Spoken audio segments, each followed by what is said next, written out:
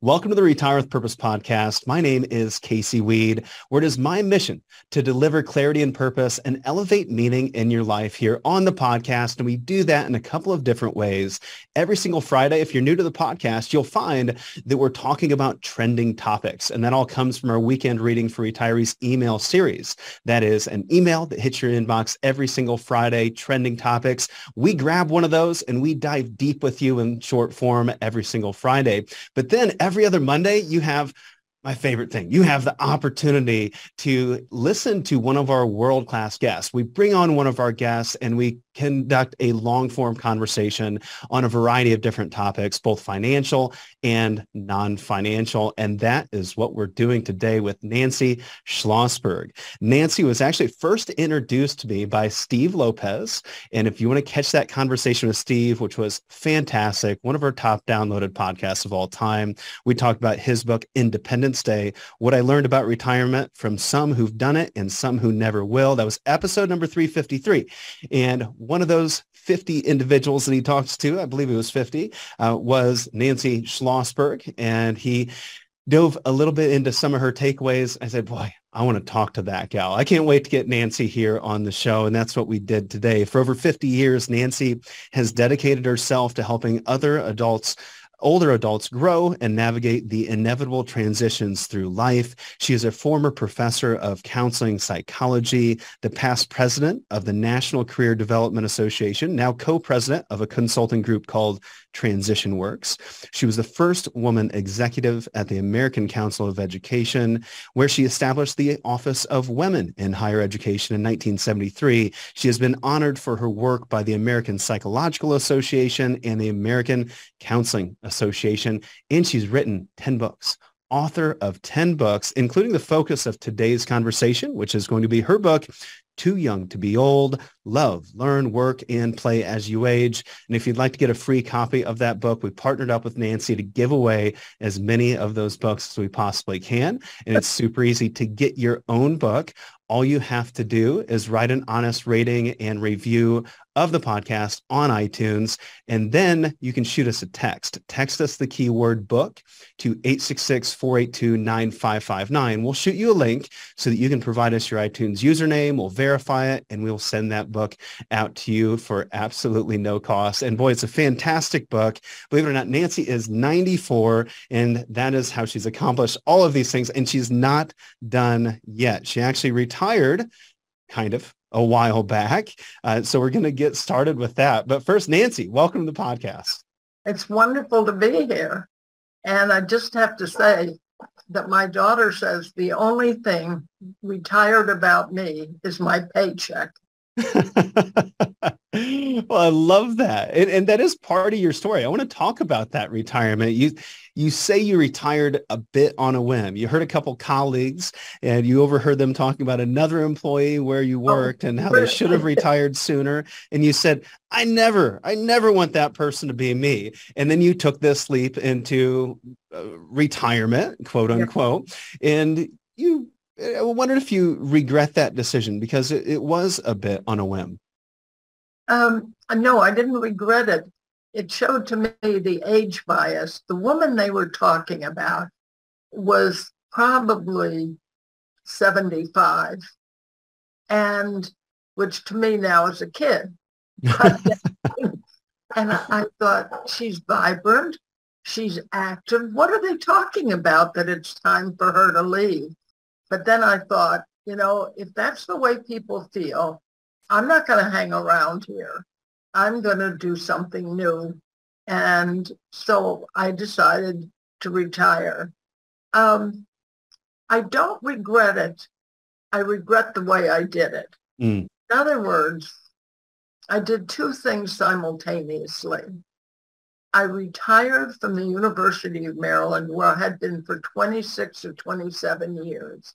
I loved it there. I had worked all my life raising children. I was never an at-home mom. I was a mom and a worker. But what I did that was wrong is I retired and we moved. Now, I know enough about transitions. I've studied them for 40 years to know you don't do two big transitions at the same time. yet that's what I did. So if I regret anything, it's just that I didn't do it in the proper way, but I don't regret that I did it.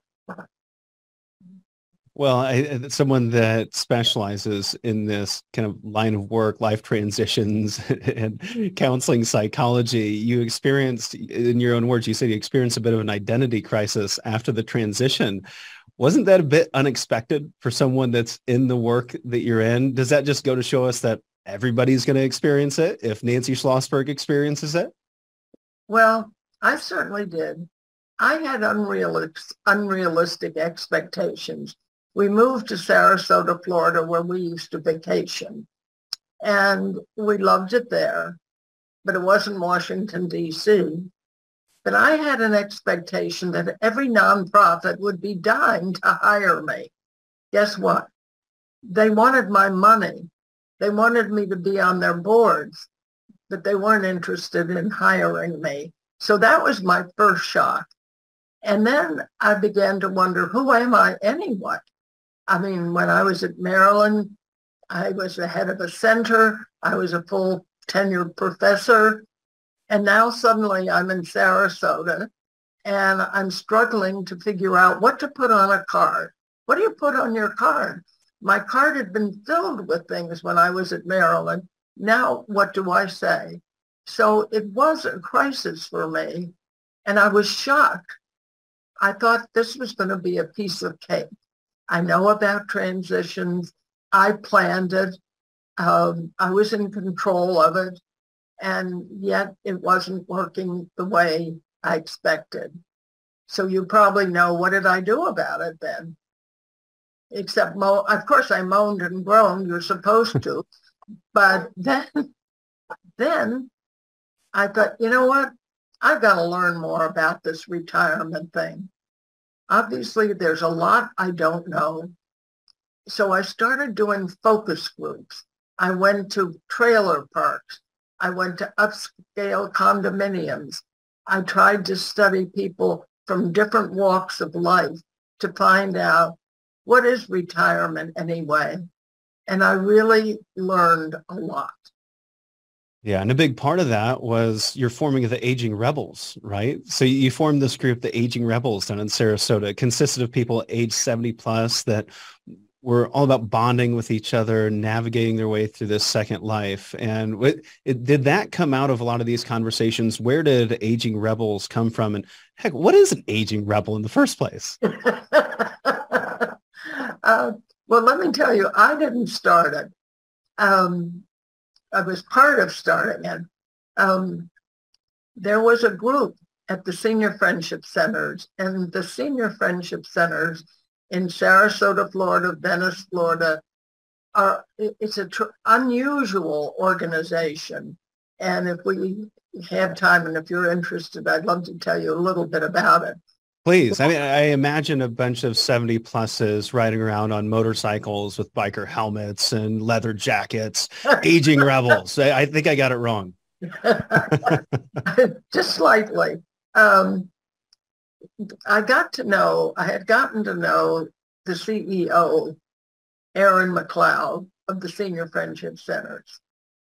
And a retired lawyer Michael Carr, was running a discussion group. Some of the women in the discussion group said to Mike, we want something on aging. So Mike talked to Erin, Erin called me, and Mike and I started this group. And we'd never worked together before, and it just was seamless. We've been running it for over five years before the pandemic in person during the pandemic by Zoom. Now we're back in person. What is it? Who are aging rebels?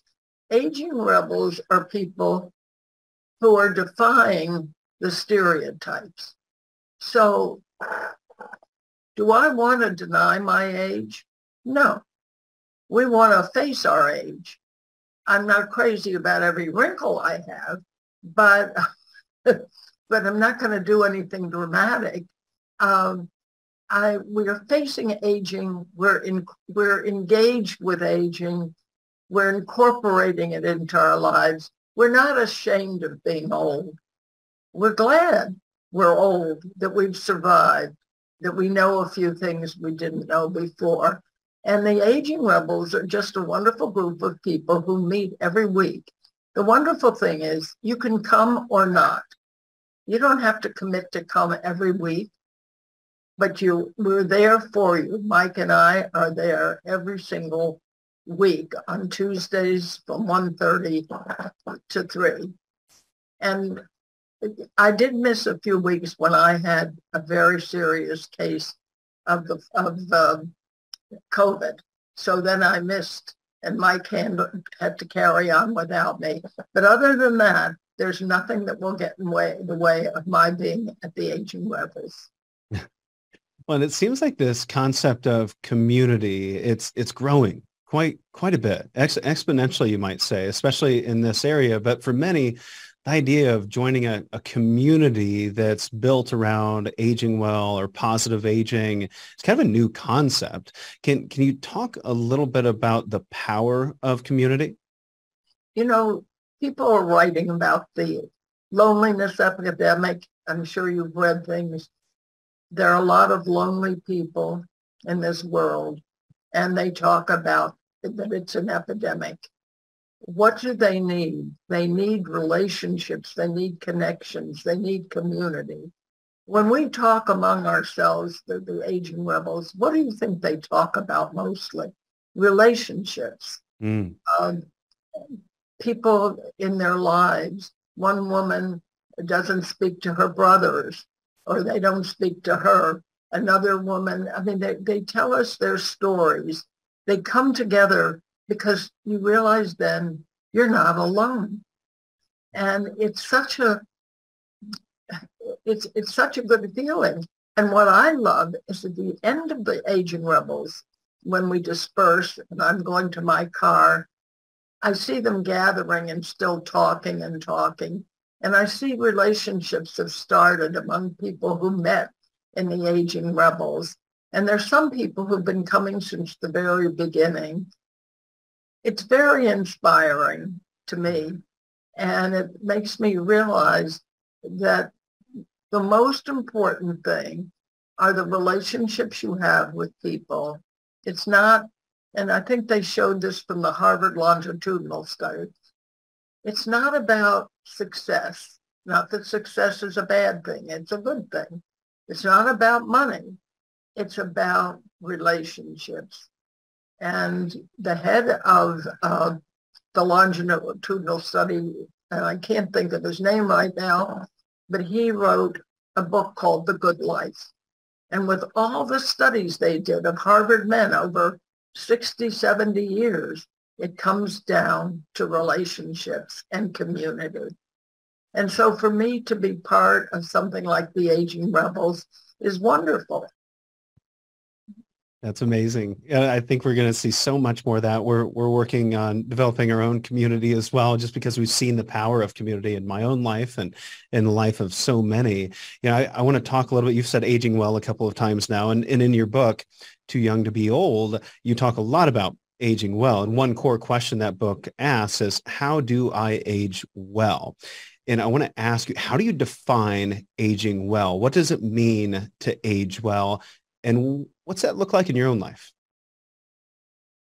You know, a lot of older people or people say, I'm not who I was. I'm not as good a golfer. I'm not as good a speaker. I'm not as good this or that. They compare themselves with who they were rather than who they are. Let me tell you what inspired me and what gave me a view of aging that's really been very meaningful to me. In about 2017 or 15, I don't remember the year, there was a wonderful festival, art festival in Sarasota.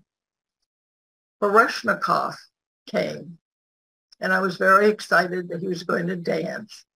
I had heard that he no longer did the jumps and the twirls that he had done before, but that he was still wonderful. I went to the performance. It was unbelievable. The stage was empty. There was nothing on it. Out comes Baryshnikov with his back to the audience, dancing across the stage. At the same, a minute later, a video goes on of Baryshnikov in the same outfit he was wearing on stage, a younger version from many years before, dancing, a video of Baryshnikov dancing. So you have Baryshnikov on the video, you have Baryshnikov in person, mm. you have his shadow. It was so exciting and so creative. And I realized it has nothing to do with who he was. He's creative today. It's who he is today. You don't have to talk about who he was. It's who he is. And he's making the very most of his life.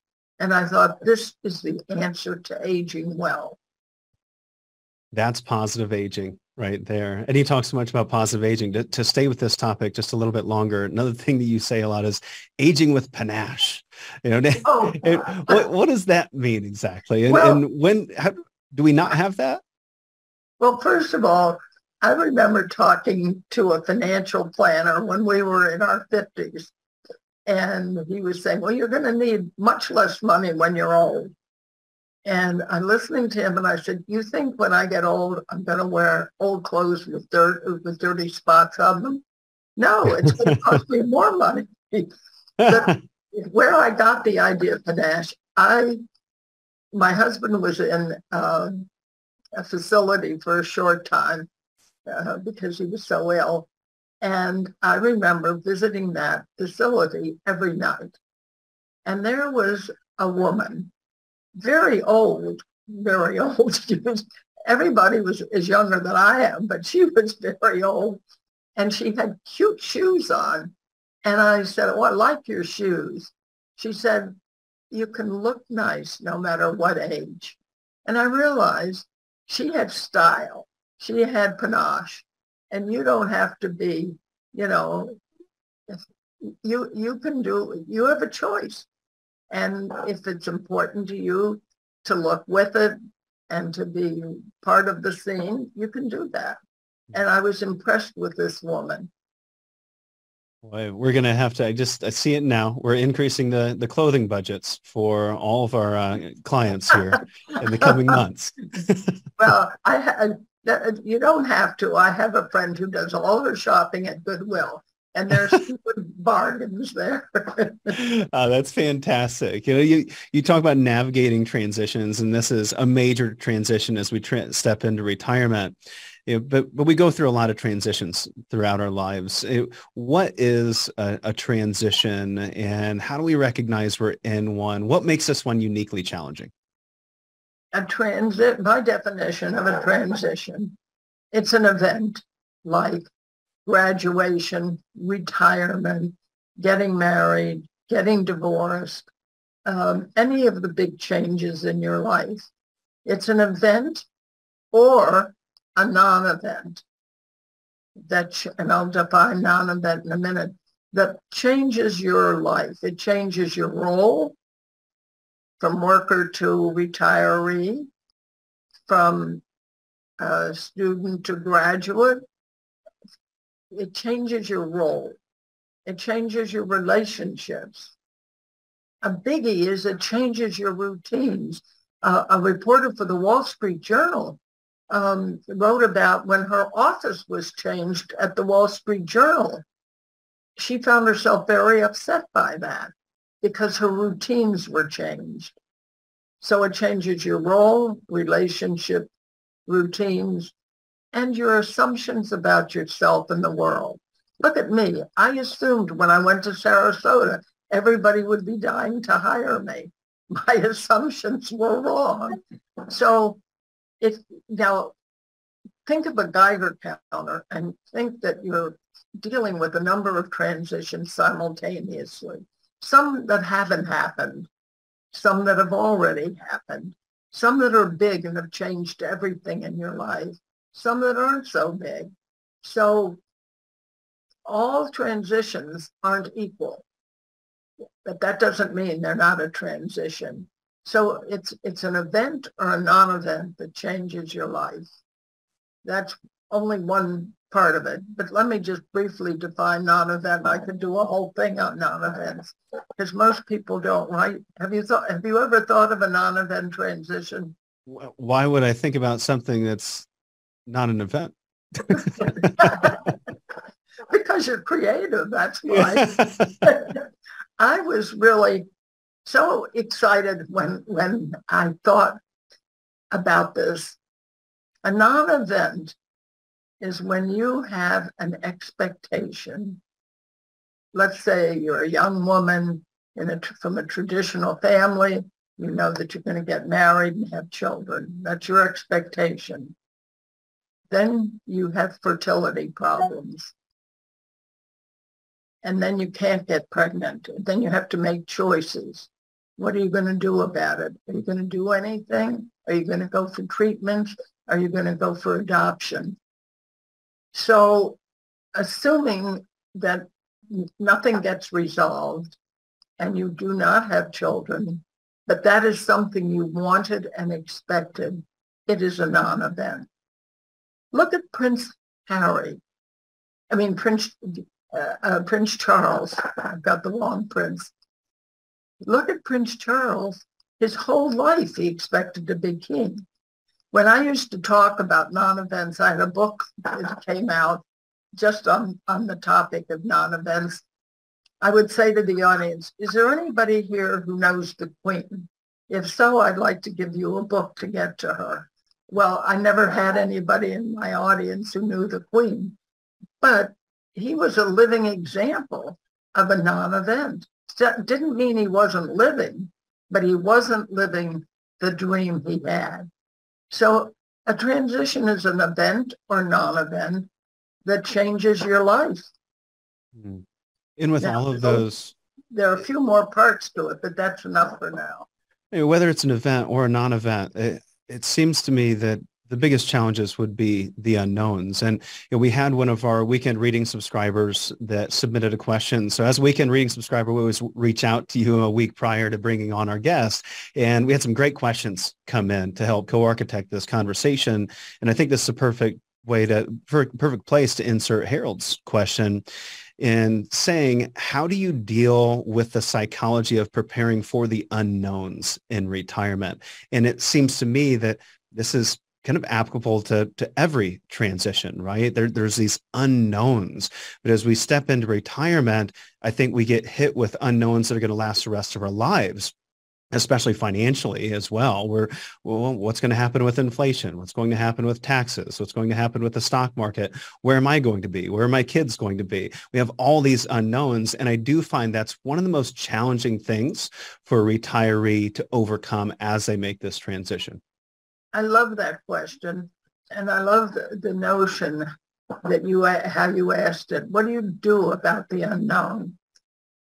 I have felt for a long time that if you can help people understand more about transitions and the transition process, giving them cognitive information that that's helpful. Let me give a concrete example. There's a writer in New York many years ago uh, who wrote a book called Widow. She was a writer, not a psychologist.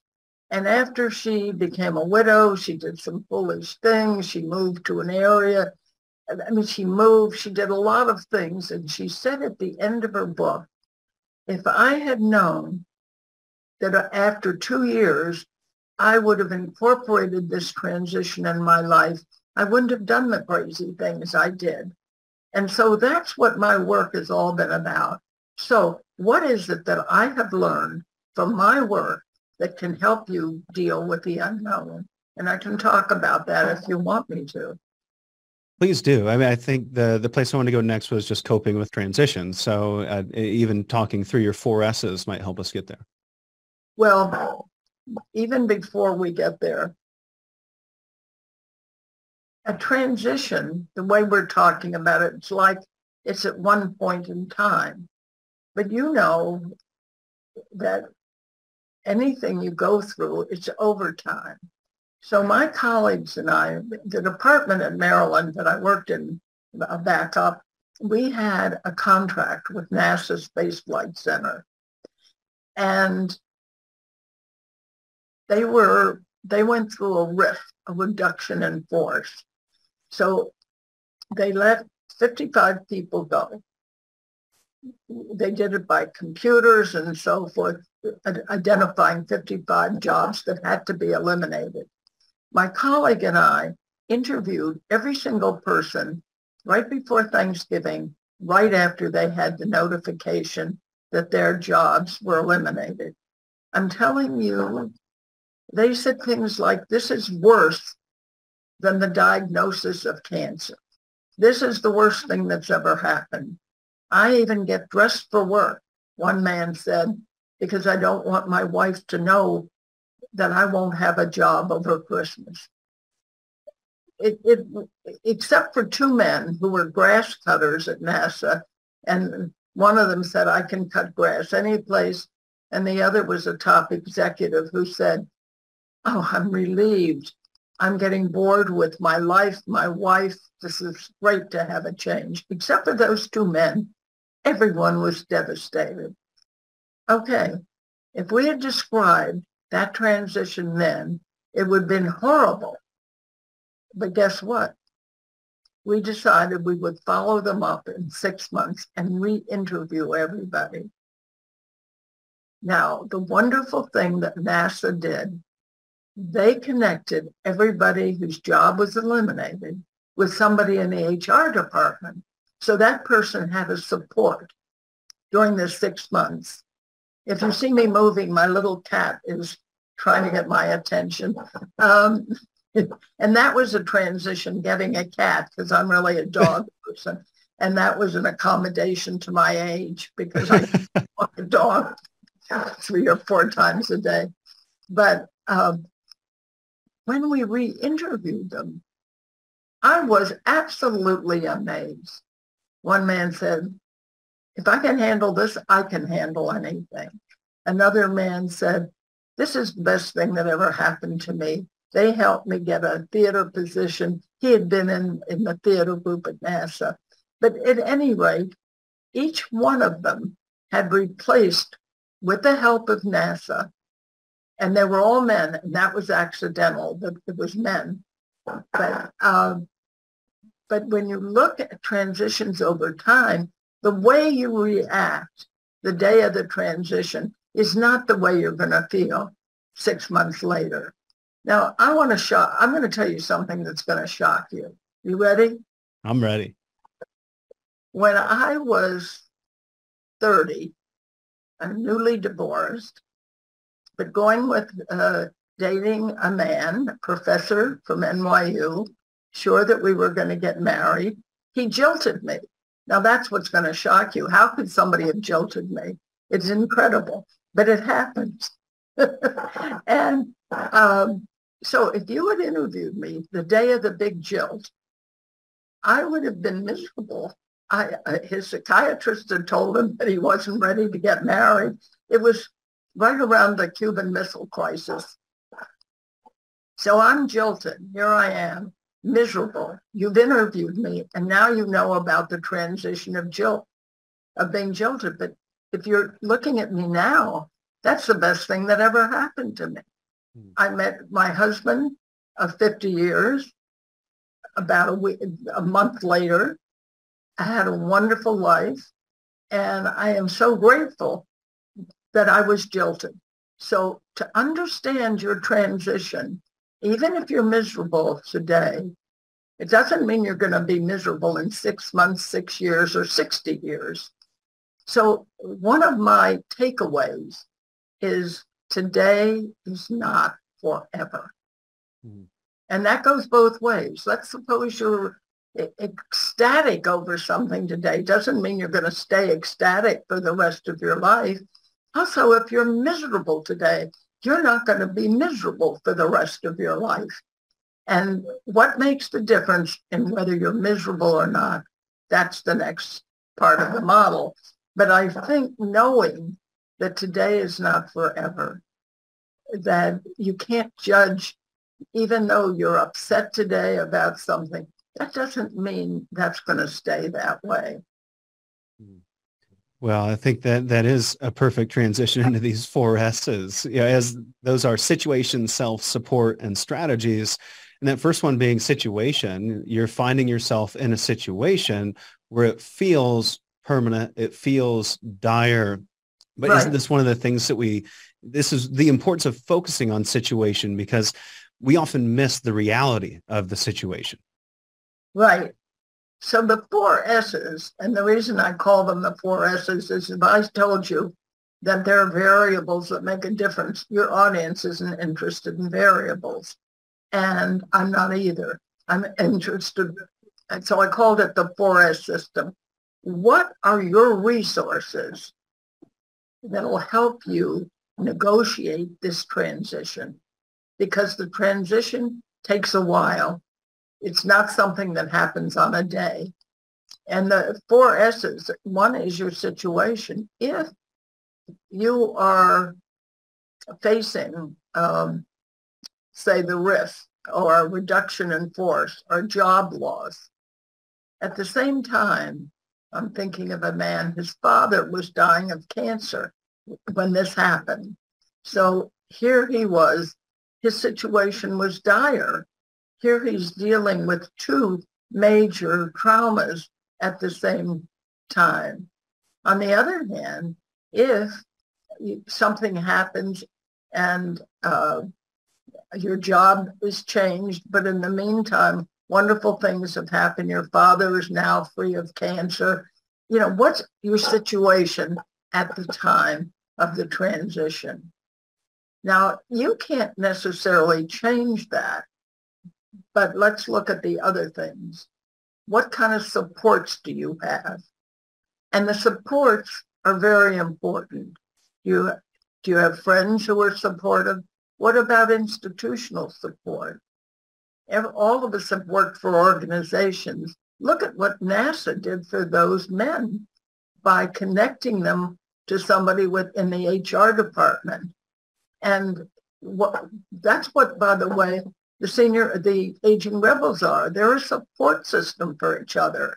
So what's your situation? Is it a plus or minus? What are your supports? Are they plus or minus? What about you? Are you an optimist or a pessimist? Do you see the glasses half empty or half full? And what kind of coping strategies do you use? Do you use lots of them flexibly or do you always resort to the same one? So the, we had a guide that you could do a self-scoring guide and find out where are you low or high. But you can say, okay, my situation is a plus or a minus, self-support strategies plus minus. What are the ones that need strengthening? And then this is where coaching, counseling comes in. Mm-hmm. How can I shore up my supports? How can I work against my pessimism? How can I increase my knowledge of which coping strategies to, to, to use when?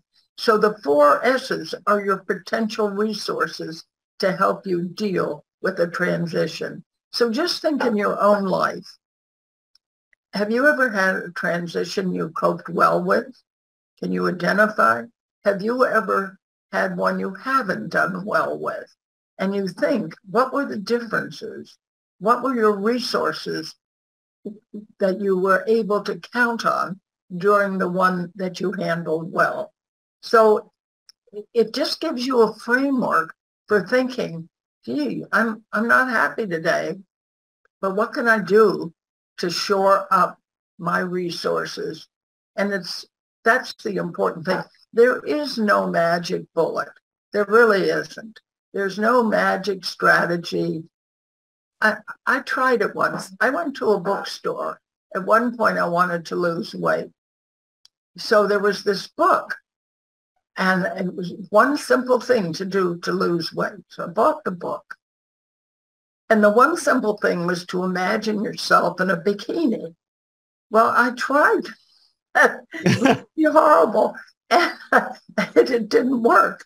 So I think that some of the self-help books that come down, you know, to one magic strategy, that that's not going to work. So anyhow, um, you have to look at your balance of resources to deficits, and that can make a tremendous difference in how you handle transitions. Well, and you provide some strategies. I think for many, uh, it's it's kind of difficult to identify. Well, what strategies do I use? That almost entails some some coaching in and of itself to actually recognize the strategies that you use on a regular basis. But you give individuals some ideas, some strategies to navigate transitions, changing the situation, changing the meaning of the challenge, reducing your stress, doing nothing. Right. Right. And one of the questions I wanted to ask in that, I mean, I think changing the situation makes sense. Changing the meaning of the challenge, that makes sense. Resilience, humor, faith, reducing stress. You know, I want to get into exactly how you manage stress, but the one that caught my eye was doing nothing.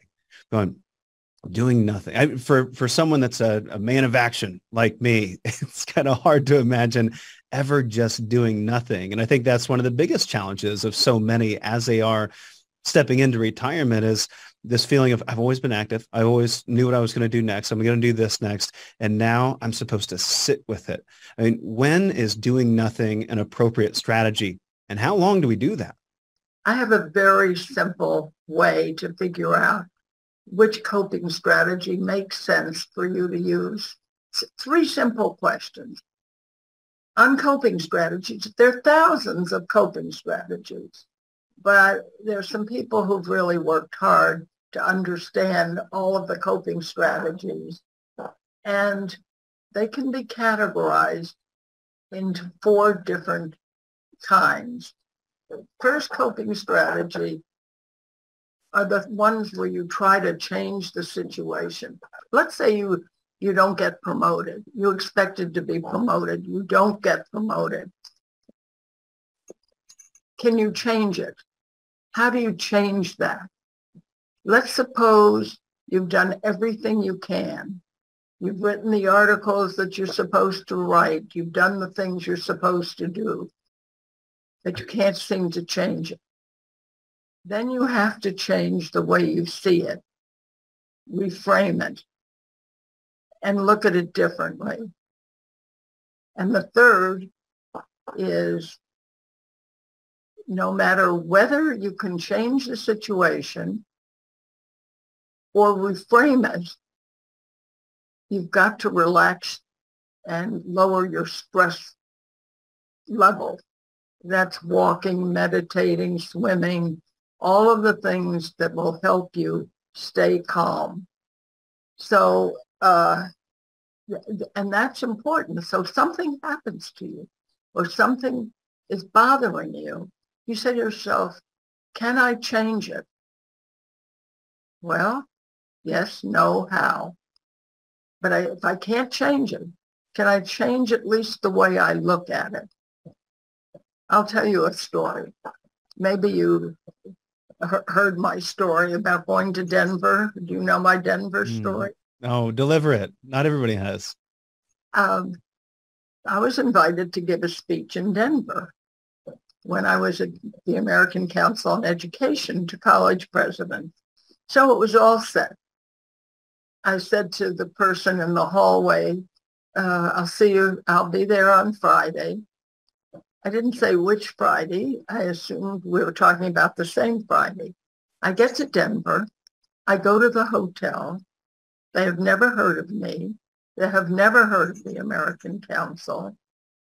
And so I then call the office and I say, I'm in Denver. What's where where where am I at the wrong hotel?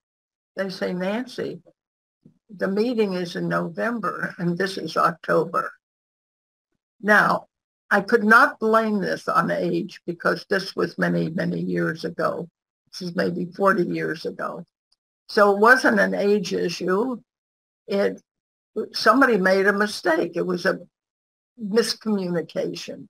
I am in Denver the wrong month. I get very upset about that. I call my husband, I get him out of a meeting, and he said, Nancy, you cannot fall apart in Denver. Your new book, Overwhelmed, Coping with Life's Ups and Downs, is about to be published. It would be very bad for sales if you fall apart in Denver.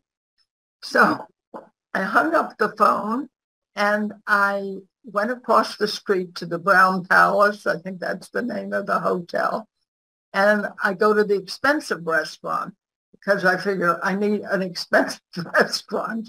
And the maitre d' is seating me and I said, I can't sit down. I have to tell you, I need a support system and I don't know what to do. He said, well, I'm going to get you a martini. I said, I do not drink martinis and I don't drink at lunch. He said, you do today. And anyway, uh, I sat there and I thought, is there anything in any of my books that really makes a difference and will help me get through this? I feel like a fool. Here I am in Denver and uh, a month early, and this is terrible. So I thought, you know, maybe this is a great thing that's happened to me. I'll have a great opening when I come back in November. You've never had a speaker more eager to speak with you. And, and um, so I was very excited about that. And I thought, look, uh, I'm getting to be a dowdy professor. Maybe this is good. I can go to Denver for lunch, San Francisco for breakfast. I mean, I can see myself as traveling the world. And I began to play with the idea and to realize it's not awful what's happened. And in addition, think of the help this will be to people who miss a lunch date, who miss an appointment for a podcast to date. They realize it's not as bad as what Schlossberg did. So anyway, by the end of the drunken lunch, I was feeling pretty happy. Well, it sounds like you followed that strategy. You you changed the situation, right? We went and decided to grab lunch in an expensive restaurant, change the meaning of the challenge in and of itself, and identifying that this was an opportunity, reduce your stress with that martini. And then you sat there and didn't do anything for a little while and kind of figured it out. Did, did I did I encapsulate that appropriately? Yeah, yeah. And it, it, by the end of the lunch, I, I I didn't drink much of the martini but I did know that, look, this is not the worst thing in the world. Nobody's died. I put it in perspective.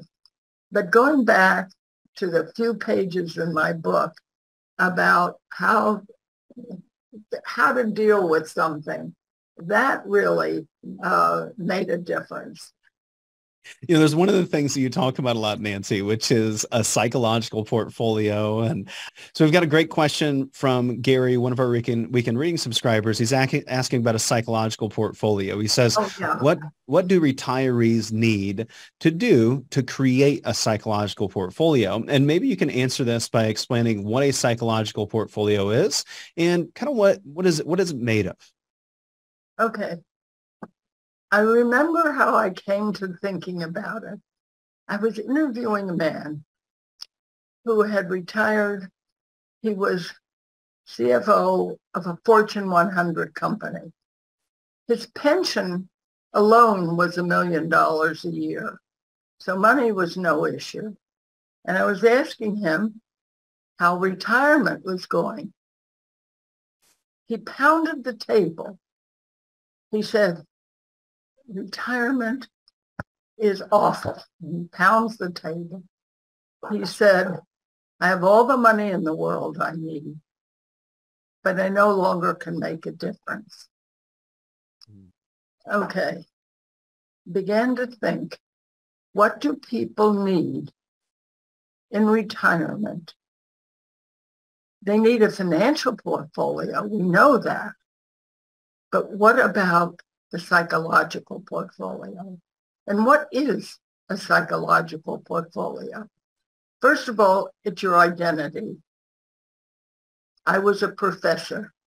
When I meet you and you hear that I was a professor, it gives you a certain picture.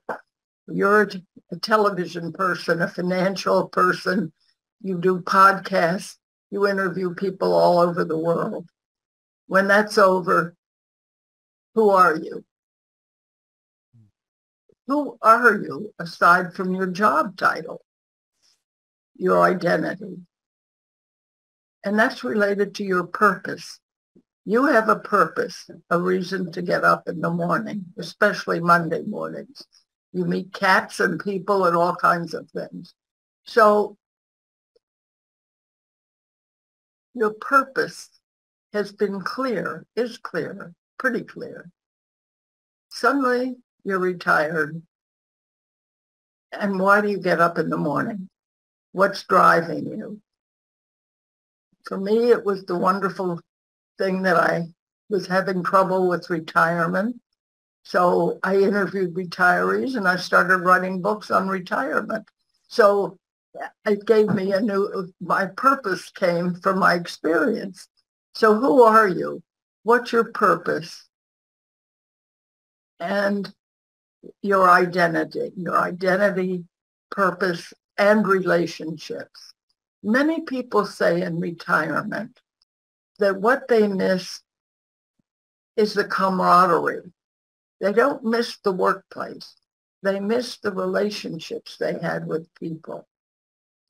And so it takes a little while to develop another kind of group where you feel at home, comfortable, uh, meaningful. So the book I wrote then was Revitalizing Retirement, Your Identity, Purpose, and Relationships. So that is your psychological portfolio. Now let me be hmm. clear mm. that a bottom, there are two bottom lines to everything we say. Your health. If you are in horrible health, it's not just your health, it's your subjective health as well as your objective health mm. and money. Do you have enough money to live? Are you homeless? I mean, can you afford an apartment, a house, whatever it is you need? So money and health are bottom lines to everything that we say, assuming that you have enough money to eat and to have a place, a roof over your head. Then the other things come into play. So who are you? And what are your new relationships? I no longer am at the University of Maryland. I've been gone for a long time, 20 years. I still stay in touch with a few of my colleagues, but I have a new community, the Senior Friendship Center, um, my the Aging Rebels. So you, you develop a new community, but your portfolio is like your financial portfolio. Do you have enough to live on? And each mm. person is different. Your psychological portfolio, have you paid attention to that? And I claim that it's as important as your financial portfolio. At one point after my books came out, my couple of books on retirement came out, I did a lot of speaking about this. And I opened every speech with the same opening. The only thing I know about money is how to spend it. I don't mm. understand money. I'm not a financial planner, but I know how I know how to spend it. So that was my opening line for my uh, uh, speeches on retirement to financial planning places. Anyway, it's to me it's very clear and one of the things we talk a lot about in Aging Rebels is purpose. And what's your purpose today? What are you doing that gives meaning to your life? Mm-hmm. When I would think those that, that psychological portfolio, it's made up of purpose, identity, relationships, and I would think it, a big part of our identity are really all three of those things, which is what I'm really intrigued by. And this is why I really wanted to have this conversation. I didn't know we were going to get all these other great things out of the conversation, but one of the things I talked about with Steve Lopez were these retirement paths that you came up with. Yeah. And it seems if you get clear on your purpose, identity, your relationships, then that kind of leads you to one of these six paths that you've laid out here. And I want to talk a little bit about each one of these paths and ask a couple of questions along the way. Good. So when we look at these different paths, uh, we have the adventurer, the continuer, the easy glider, the searcher, the retreater, the involved spectator. You know, I, I have some questions about each one of these, but I'd, I would love to see where you would like to take it. If you want to take us down this path of retirement paths, how would you like to enter that conversation? Um, well, each one is interesting. Um, there's no right one path, and you're not on the same retirement path forever. I would never have expected that I would live 25 years after I retired. It's like a lifetime. So I could have several different paths or I could have a combined path. I think the adventurer path doesn't mean you'll go band, doesn't mean you're doing climbing the, the highest mountain in the world. It means you're adventuring into something new, no matter what it is. I interviewed a man who worked, ran a research group for Congress. They cut the funding. He was in his late 50s, early 60s. And he had been a sort of suit and tie person running this big thing. Suddenly he had nothing. He went on a sailing trip by himself. He was a sailor. And he thought back to what had helped him when his wife and child died many years before. He was remarried now. And he thought what helped him was massage therapy.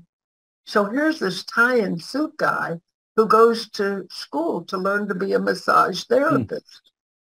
Mm. Many years later, his wife wrote me. She said she couldn't read the book because she knew I talked about him and he since died.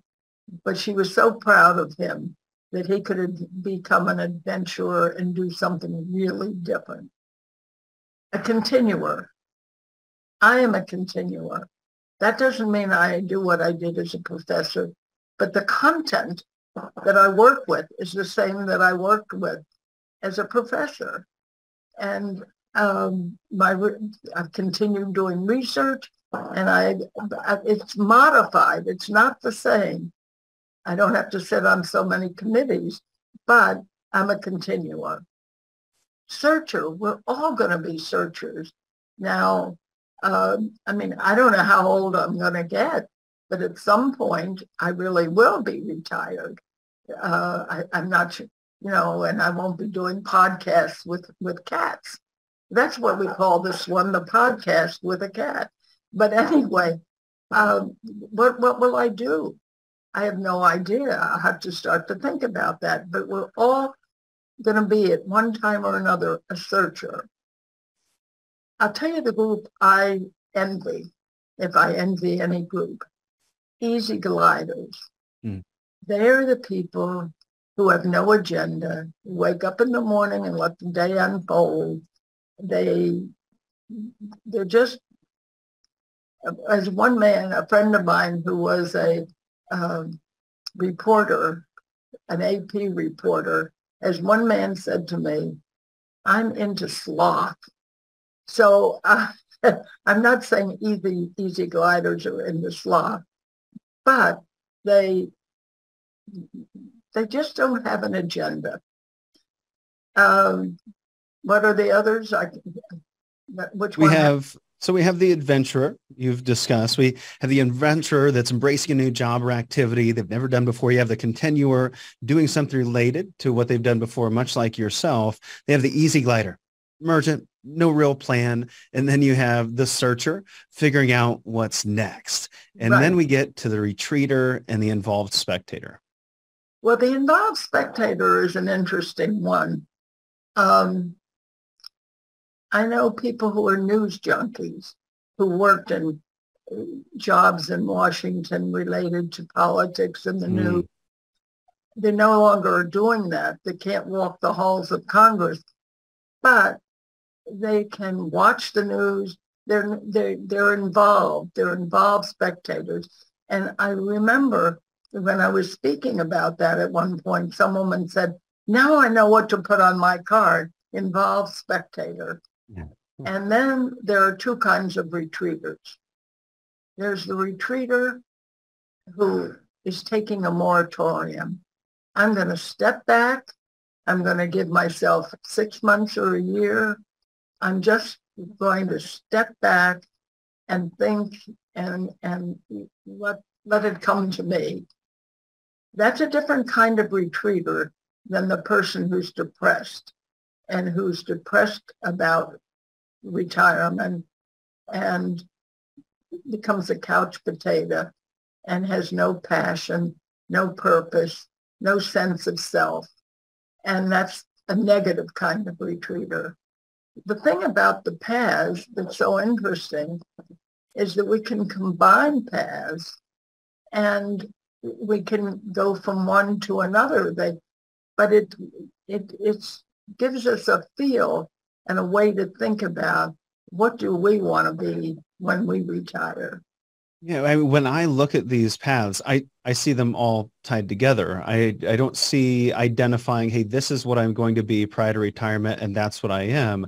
I see a path, I, and I see them connecting from one to the next, almost a strategy in and of itself, where yeah. first, maybe it's appropriate to retreat. We become that retreater. We take some downtime, and then we're an easy glider. Yeah, okay, we're we're kind of gliding after that retreat, and and maybe conducting some low cost probes, doing some tests of this or that, which leads us to the searcher. We're we're searching. We're we're searching for what might be next, leading us to becoming that adventurer. Where now we're actually in those adventures. We've searched, and now we've found a few things that we want to test out, a new job or activity, leading us most likely. What I often find is you become a continuer. At least you are pulling some of those things, some of those common threads of your life into the future, and you're continuing to do something that's related to what you've done in the past. And then I see you becoming at some point an involved spectator where yeah, I'm, I'm involved, but I like to watch a little bit and, and I don't want to be overly involved. I want to watch, I want to spectate, and I want to have my influence, which is a bit of my legacy at the same time. I love the way you've uh, framed it. I think that's really terrific.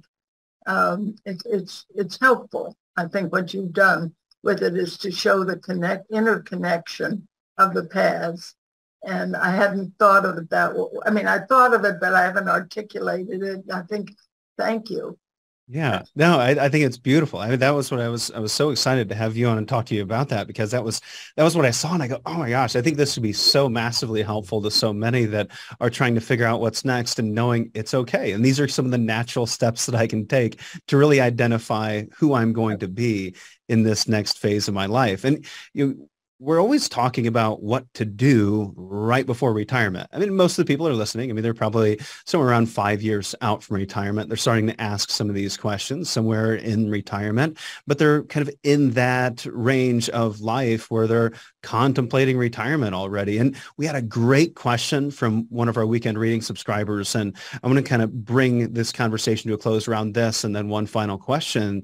And that was a, a question from Linda that I love. Linda said, is it possible for an individual to start preparing themselves to be able to retire before 62 emotionally? Now, sure, there, there's that one piece. That's that first part of that question. Can I even prepare for this prior to 62? And what we've said is, yes, you can prepare for this emotionally prior to 62. But then she goes on to ask, what about individuals in their 20s? Right? Because we don't think about these things until we're maybe five years out or already in it. What would be your guidance to people that are much further out from retirement. They're 20, 30 years out from retirement. Should they be preparing themselves emotionally for this stage of life that's well off into the future? Well, intriguing questions. Um, one of the problems with the question, and not with the question, but with life, is if you're in a job that you really love, I mean, I assume you love what you're doing. I assume you must be busy 24 7. That, that this podcast is only a minor part of your work life. and uh, it, it's it's not the way you make a living, and it just adds to the richness of your life mm-hmm. and to other people's lives. When you're as involved as I think you are, as I was, thinking about retirement was meaningless to me. Mm. I didn't I didn't want to think about retirement. I was thinking about today and what I could do to make a difference, how I could help my students, how I could translate my research into something that's meaningful in their lives. Uh, and my purpose in pre-retirement and retirement was to take everything I knew and to do it in more accessible formats, to write not academic books, but trade books, to write things that were paperback books for $20, $21, The last three books published by the American Psychological Association, but paperback so that people could afford them. So that became my mission. And thinking about retirement was kind of meaningless at that point, even though I knew that someday I would have to deal with that. So I think if the more involved you are and the more your sense of purpose is reflected in the work you do, the more difficult it is to think about retirement, uh, at least from my vantage point. However, as you get closer to it, you're going to have to think about it. And that's why I've often said pre-retirement workshops don't work for everyone. It's when you are ready to think about it. You might be ready to think about it a year after you've retired. Some people want to plan a year before. So it's very individual. But you can always go back and replan and think about the past and think about your psychological portfolio. But I don't think it's a simple thing that there is the right time to prepare. I do remember I worked at Howard University in the counseling center right after I graduate school. And I remember teaching a course to the freshmen, uh, kind of a live well course. I forget what it was called. And I remember talking about retirement to them. And they looked at me like I was crazy. But I, I was thinking, you know, someday you're going to be, you're going to have a career, you're going to be involved, but someday you will be retired. Well, it's hard for people in their 20s to be thinking about retirement, but it doesn't mean you, certainly the financial people have to make people think about saving money and being somewhat cautious. But the timing of it is so individual I was not able to think seriously about retirement until I was there. That doesn't mean that's the right way to go. I don't know about you because I know you're so involved in what you do. Is it something you can even think about now? Yeah. No, I, I think about this all the time. I mean, obviously it's the role that I find myself in. So I'm in a unique position where I'm always thinking about retirement, but it, it applies to a lot of different areas of my life. And I, I think and this is definitely strange. My wife finds it quite strange, but I, I think about all these things that might happen in our lives and how do I prepare myself today? There's some things that are inevitable. Retirement is inevitable. The loss of a spouse, uh, our own death, our own illness, or the loss of a key employee. How can I prepare myself mentally for those things that are going to happen someday? And I think about, well, what if I lost my wife tomorrow? How, how am I going to manage that? And even some of the things that may not happen, the divorce or a loss of a child, you know, I, I play those things through my head because I'm afraid if they happen, that I would fall apart if I didn't already envision a future that that some of these transitions could happen in. But maybe the reality is that you can't prepare yourself for those things. Maybe you really cannot prepare yourself for those things. There's no use in me, you know, actually going through these exercises in my brain and playing these things out because they may never happen for one. Hopefully a lot of them never happen. Uh, but when they do happen, it's going to be different than what I actually imagined. And then I have to go back to the strategies. Having the strategies is all that I really need maybe. And that's exactly right. So I, I don't know. Uh, I've lived through a husband dying after a 50 year marriage. I've lived through partners dying. I've lived through uh, retirement and how all I can say is that I have no idea what to do next because demographically I am in the old, old group. How long can I keep on working? How long can I keep on being of help to people either through writing, speaking, running groups? I don't know. And then what will I do? Well, instead of worrying about what will I do, I just go back, what have I done in my past? And where are my supports? Where is my 4S system? Uh, my situation, I don't know what it will be, but I, I don't know that I'll like it either. Mm. So I'm pretty good at getting support systems. And that will be the first thing I do.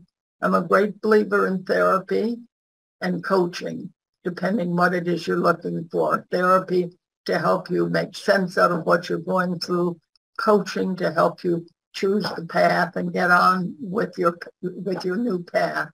So, and third, I will again look at whatever is going on and say, if I don't like it, can I change it? If I can't change it, can I reframe it and look at the good life and the wonderful life that I've had and the wonderful people who are part of my life today? And I must say that for me, the best thing that one can have is what I have. And that is two adult children and their spouses and children who are my collaborators in facing this period of my life and my partner who is part of my life. So to me, I've set it up. I don't know that I've set it up, but it exists. And I feel so fortunate. So whatever happens, whatever whatever happens, I know that I will be able to handle it because I have my collaborators. That's beautiful. And, and, it always comes back to that. I feel like the common thread in all of these conversations is relationships and recognizing the relationships you have today. And what if you go through X, Y, and Z? Where are those relationships going to be? If you don't have those relationships, cultivate those relationships, build that support network as you've talked so much about. And as we wrap things up, you're on the Retire with Purpose podcast. And I'd love to ask you this one question. What does retire with purpose mean to you? That means to me that you have a vision of what's how you are going to make meaning out of your life. But I do want to add one thing that we haven't touched on that I think is the bottom line. And it's not directly purpose, but it's mattering. If we have a minute, can I describe that? Please. When I was at Maryland, there was a wonderful professor, Morris Rosenberg, he since died. And I read, a, read his work and then I went and met him. And he was doing work on mattering, which he felt was a motive. And he did this big analysis of teenage boys and delinquency and found that those teenagers who felt they mattered did not become delinquent. Those who felt they didn't matter did. And he looked at all this. At the end of his big article, he said, and in retirement, it, many people feel they no longer matter. And we started working together. He was working with his students on homelessness and mattering. I was working with my students on the mattering retention of adult learners If they didn't feel they mattered to the university, that they were appreciated, noticed, counted upon, they dropped out of school. Mm. So mattering is the degree to which you feel you matter to others. And I think that is the bottom line. How do you continue feeling you matter? And the other side of it is how do you feel in retirement that what you do matters to others? So there are two different things. One is the purpose that what you're doing will matter to others, and the other is recognizing you want to be heard, you want to be noticed, you want to be counted upon. And so to me, that is our task. And by your having me come to this podcast, you do make me feel I matter. Well, you matter so much, Nancy, to so many. And if you're ready to take that first step and articulate that vision, start to create that vision and identify all these things, your psychological portfolio, mattering, and all, all of these great things. We're going to be giving away uh, Nancy's book today. So if you'd like to get a copy of Nancy's book, as I said in the open, super easy. Uh, all you have to do is write an honest rating and review of the podcast over on iTunes and then shoot us a text. You can text us the word book. That's B-O-O-K to 866-482-9559. We'll shoot you a link so that you can provide provide us your iTunes username. We can verify your review. And we're going to be giving away Nancy's book, Too Young to Be Old, Love, Learn, Work, and Play as You Age for free. And it's that easy. Nancy, thank you so much for joining us. It's been an absolute pleasure. Thank you. Thank you.